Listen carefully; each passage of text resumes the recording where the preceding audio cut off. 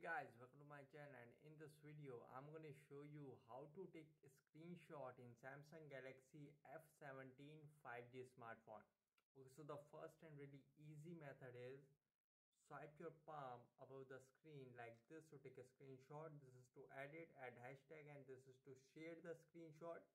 Just swipe your palm from either to take a screenshot like this really quickly you can see this is the really easy method to take a screenshot in samsung galaxy f17 5g smartphone. Here you can see this is the really easy method. And if we press the volume down and power button together it will also take the screenshot in samsung galaxy f17 5g smartphone. Just press the volume down and power button together to take the screenshot really quickly in Samsung Galaxy F17 5G smartphone. And if we slide from top in notification center in helpful quick settings, here we have take a screenshot you can see here we have take a screenshot. Tap on take a screenshot to take a screenshot really quickly like this as you can see.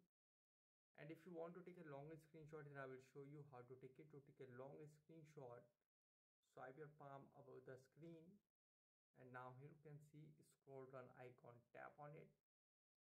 Tap it until you want to take the long screenshot.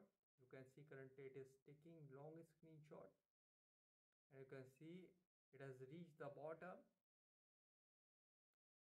And you can see this is the long screenshot took with Samsung Galaxy F17 5G smartphone. So guys, this is the method to take a screenshot in Samsung Galaxy F17 5G smartphone really easily.